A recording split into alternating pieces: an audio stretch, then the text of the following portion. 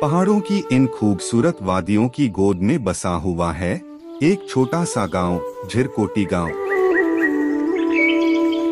ये गाँव उत्तराखंड राज्य के टिहरी गढ़वाल ज़िले में स्थित है। झिरकोटी गाँव पूरब से पश्चिम दो दिशाओं में फैला हुआ है। गाँव के ठीक ऊपरी भाग में पक्की सड़क है और सड़क से नीचे की ओर गाँव मात्र दो से तीन मिनट की दूरी पे है। ये इस गाँव का प्रवेश द्वार है तो आइए हम भी प्रवेश करते हैं गाँव की ओर। सड़क से झिरकोटी गाँव तक जाने के लिए पक्का पैदल मार्ग है। ये गाँव सड़क के बिल्कुल नज़दीक बसा हुआ है। हम लगभग गाँव में पहुँच चुके हैं। हमें मात्र तीन मिनट लगे सड़क से गाँव पहुँचने में। गाँव के ऊपरी भाग में भगवान शिव का पौराणिक मंदिर है, जो कि देखने में काफ़ी पुराना लग रहा है। ये इस गाँव का पहला घर है और गेट पे ताला लगा है और घर के दरवाजों पे भी ताले लगे हुए हैं। ये उन लोगों के घर हैं जो शहरों में रहते हैं और गाँव में कभी कभी छुट्टियाँ मनाने आते हैं दीदी जी सर पे घास का बोझा लेके अपने घर की ओर जा रही हैं। तो आइए, हम भी इनके घर की ओर चलते हैं इस गोबर के ढेर से अंदाज़ा लगाया जाए तो इस गाँव के लोग पशुपालन भी खूब करते हैं। इस गाँव में लोगों ने अधिकतम पक्के मकान बनाए हुए हैं। ये घर भी पूरी तरह से बंद पड़ा हुआ है। यहाँ के लोग भी पलायन करके शहर में जा चुके हैं।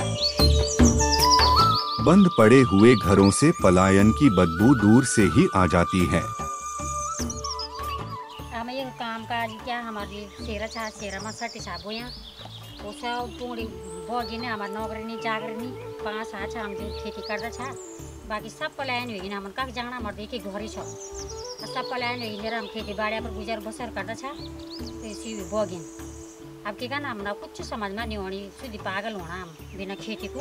अब ये हमारे बरसात में खेती बोगी बहुत परेशानी होनी। हम तो बहुत ही ज़्यादा पानी की समस्या, गोर छन हमारा, भैंस छन हमारा, पर व्यवसाय ठीक से चलो हमारो, और सब बोगी अब के कहना हमारे पुरानो कुरो होनो खेती नहीं, बाड़ी नहीं, हम पर खेती में बीमार करता छा गेहूँ, सट्टी, जो जो कुछ भी छा वो करना छा ना। अब कुछ भी नहीं, आपके काम पहले बहुत काम करता छा सुबह उठौँ छ, चार बजी उठौँ छ झुङ्गो रुको उठौँ छ, सट्टी कुटी रख दियौँ छ के के हम ये झुङ्गो रुको कूद छ जेंद्र पीस छ हमारे बारह तक जब हमारी शादी हुई अब जनी वो होगी तो तनी वो होगी के बोलन के कुछ भी नहीं आओ तब जब जब के बोलन उजो हुन्छ तब हम पानी जान्छ। पानी बहुत समस्या छ। आज भी समस्या चाहिँ पहिले लुन एक समस्या छ, पर पानी बहुत समस्या छ। हम जुगाड़ी दुई, तीन तीन घंटा में पानी लन्छ अब तो बहुत अच्छा दिन छ। अब तो जनी जमानो तनी बेकार जमानो छ। तो अच्छा जमानो छ। सुंदर मिलजुली का रंछा लोग आप एक दूसरे का देखना नहीं जो कोई अगर गरीब छ तो वे वे की तरफ़ लोग तो क्या सरकार भी नहीं देखनी। जो अंत को जो कार्ड छन वो वो छन बना, जो बिल्कुल हाई फाई छन जो हम बिल्कुल निरस्त छन एक किलो मिलती दुई किलो राशन मिलती वो छन हमारे। कार्ड बनाया ये आपके का ना बनिए बहुत समस्या हुई बहुत बड़ी समस्या हुई छः सात में से गरम छन बाकी सब देश छन हमारी सारी खेती चलती है कार्य पर पुंगड़ी तो बीस बीस दोना शेर है हमारी। बीस बीस दोना हमारे साल भर का चल रहा छो कोटा। साल भर का चल रहा छो हमारे साल भर फिर हम धान उगा दिन फिर साल भर में हमारी नींद चौदह छो। पलायन क्यों जुड़ू भले लोग पैसे देखें लोग घर नहीं जाना पूरा बौना सन घर पर रहना ही। वो दिशा जाना। तो चलो एक बाँध पड़ जो हाँ। हम हम भी निरोला ना, दुई चार। हमारे जिधर रौनक बनाई गाँव की, शेरी कुठर हमें रन करी तो अच्छे लोग सड़की पर देख चालू कि हाँ भाई चालीस जिरको को शेरी। आप तो कुछ भी नहीं। आप तो एक एक से भी टुकड़ा नहीं, हम इतना से भी नहीं बचू। हम तो गरीब आदमी, बेरोजगार आदमी, हमारे व्यवसाय ही छ गोरु भैंसा पाँच छ मन दूध बेचना छ मन खींचेर कान्छ हामी यही छ हमारे, बाकी कुछ नहीं हमारे।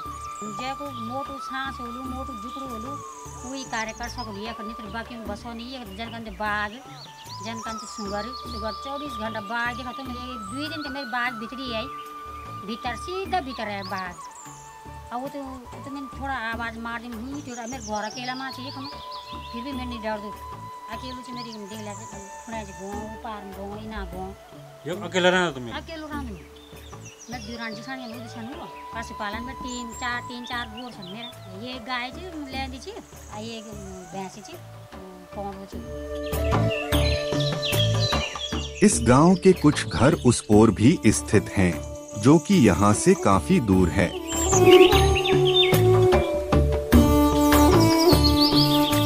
अब हम झिरकोटी गाँव के निचले भाग की ओर जा रहे हैं।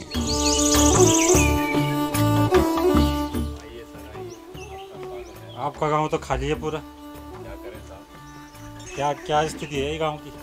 सारे पलायन की मार है खेत सब बह गए हैं। पूर्ण पड़ा सौ बहुत गए ना। पूरा छोड़ो ये गाँव की रहने नहीं तो पूर्ण की कन? लोग कहाँ गए यहाँ के? लोग अब नया समाधि का शौक चल गए ना। कोठियाँ बना रखी लोगों ने ऊपर। हाँ कोठी बढ़ाई जन। ये जन एक किस्म से होली हो हाँ। विश्राम गृह। सर्दियों में आगे गर्मियों में आगे दो चार में रहे चले। आप घोरे में रहते और में साहब। करता काम काज दिहाड़ी मजदूरी खेती बाड़ी पलायन का मुख्य कारण ही साहब बेरोजगार रोज़गार। नहीं है। शिक्षा नहीं है स्वास्थ्य सुविधाएँ नहीं है। अब साबित देख लगे अब पहाड़ में रहना मुश्किल किचु की बीस तारीख से आपदा आए थे।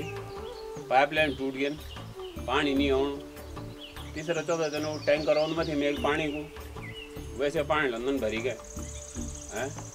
अब तो अगर टैंकर नहीं हो तो फिर गाड़ जा नदी में जा। उपड़ी ला भरी गई के दूधी भांडी अपनी मतलब है? मुख्य कारण थी हिसाब की सुविधा नहीं है ना। वो में सुविधा नहीं है। कल्याण समय जी की पानी खत्म है टैंकर है बोला लो, तुम तो कम से कम घर में मोर भरता है चालू है? जब कोई आदमी रणी नहीं जान रणी रणे नहीं लगे ना उपड़ी हर चीज़ को थोड़ा थोड़ा धीरे धीरे अनाश होंद रहो अब देखा सी लोगों ने पूर्ण पड़ना से गाड़ मार जा छोड़ा है? अब वो बांझा पड़ा जाता वे ऐ जवाब भी ना आपदा करी वे वे बस तुम जब बांझा रखना तो लिखी सब बगे हो ये पुराने जमाने का घर है, जो कि बहुत अलग ढंग से बनाया गया है। इसमें दो कमरे हैं, एक ऊपर और एक नीचे।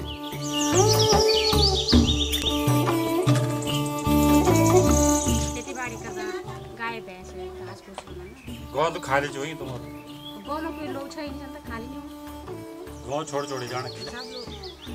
नीचे ना पानी बगिया सब झाड़ में तो कहाँ पानी ये सुविधा नीचे ना घर में सुविधा नीचे बच्चों को कुछ भी पानी नीचे।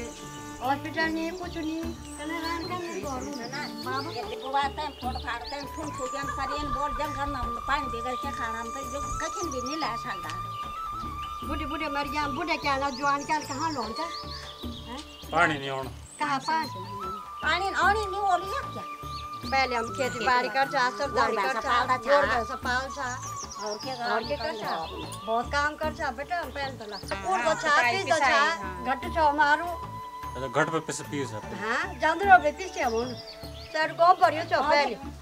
गोर भैंसा नो सब हैं? जता काम तुम करी अबे बारे भी कर देना का बाबा कर दो बोला बने कर दो बोला बेचारा. अब हमारे बुआर कथा काम कर देना। तो देखनी चाहिए कि वो तो से जाया था ना से अपना अपना पतियों का झगड़ा हम तो ये घर से छोड़िया। ये लमड़ा लमड़ा जब मरदान हाँ? निटिक दिन गाँव में ना मतलब ये नहीं। क्यों निटिक दिन गाँव में खा खाना नहीं देना।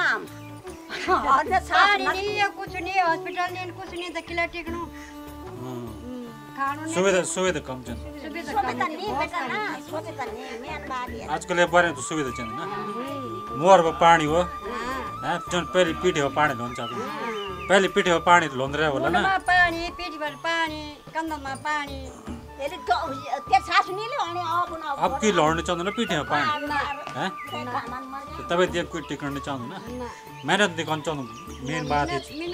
पहले लोग बाज़ार पैदल जान्छ पानी पीठे हो हुन्छ। हाँ, अब लोग करनी चाहिए ना। इन- बोन से थोड़ी उनकी सुविधा नहीं तो कन में तो पड़ो थोड़ा बहुत से हाँ तो फिर पहले भी तो लोग रहन लोग थोड़ा आलकसी होगी ना?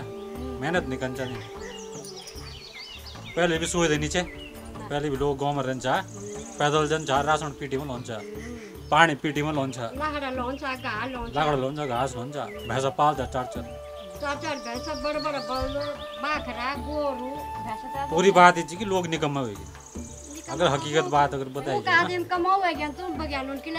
अब लोग तो चाहिए सुविधा। तो घर। में पानी हो। तो खा घोरा भित्र तक पानी छन्? खोजाउन लोग। कि घोरा भित्र नलको हो। और गवर्नमेंट और मेरे डियर में तक रोड हो। हाँ। है ना? तो अब बात हुई थी कि लोग जो चीज़ होगी अब पहले लोग देखो पैदल चलता हम जब भेजिए जाना पैदल बुढ़े भेजे ना। रात रात मोह छोड़ सा रात पुर्दा सा रात पेपर सा रात मनवार से जान सा बच्चों स्कूल नी नौकरी चाकरी हॉस्पिटल नी ना कुछ नी तो किले ना लोग डेरा बाबा। पहाड़ों के पुराने जमाने के ये खूबसूरत घर आपके मन को ज़रूर लुभाएँगे। दोनों काम का था गोर बातल था हमारा शेरी बेचारी खान के बाबा मार का रट पे नीचे जिदा किसान बारे पहले से अब नहीं नुका। अब नहीं। तुम्हारे बारे भी जन किसान? हाँ पहले तो छह था। किसान छे जन? हाँ किसान तो कुछ भैरे जान खानी। या छे घर में तब तो चली जरा आवना रही। कहीं बोले तुम बारे तो घोरा काम करा भैंसो पाला हाँ, खेती बाड़ी करा कुछ नहीं खेती बाड़ी करन करन बाबा तो शेर देखना लगी सब चली गया बा और दिन कदा किला नहीं था?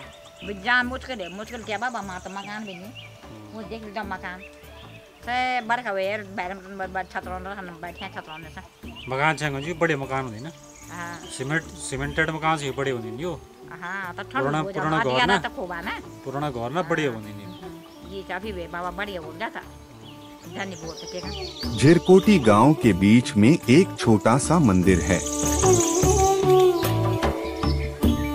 अब हम गाँव के निचले भाग की ओर जा रहे हैं। हमने जब अनुमान लगाया तो पाया कि झिरकोटी गाँव में पलायन की समस्या सर्वाधिक है। इस गाँव में लगभग 70 प्रतिशत से भी ज़्यादा पलायन है। गाँव के ज़्यादातर घर खाली पड़े हुए हैं। जिनमें अब कोई नहीं रहता। गाँव के कुछ घर ऐसे हैं, जो कि बिल्कुल ही खंडहर हो चुके हैं। गाँव के ये खंडहर घर कभी अपने समय में गाँव की शोभा को बढ़ाते थे। ये सुनसान, वीरान पड़े घरों को देख के हमारे हृदय को बड़ा संताप हुआ। ये तो हकीकत है कि लोग जब गाँव त्याग कर शहर की चकाचौंध की ओर जाते हैं, तब गाँव के घर खंडहर बनते हैं। आप लोगों को भी गाँव की दशा देख के आभास हो गया होगा कि पहाड़ों के गाँव अब किस हालत में पहुँच चुके हैं।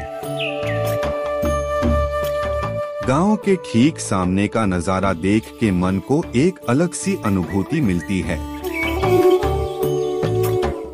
ये गाँव बेहद खूबसूरत जगह पे स्थित है, लेकिन ये देख के बड़ा दुख हुआ कि इस गाँव में बहुत कम परिवार ही बचे हुए हैं। नई पीढ़ी का अपने गाँव के प्रति कम रुचि होना, ये हम सब की समझ से परे है। इस गाँव की चहल पहल अब सन्नाटे में तब्दील हो चुकी है। पलायन के ये घनघोर बादल इस गाँव पे टूट के बरसे हैं। पहाड़ों के गाँव कब तक पलायन की आग में सुलगते रहेंगे, ये हम सबके लिए गहरी चिंता का विषय है। दोस्तों, आज का सफ़र बस इतना ही था। फिर मिलेंगे किसी नए सफ़र में। खुदा हाफिज।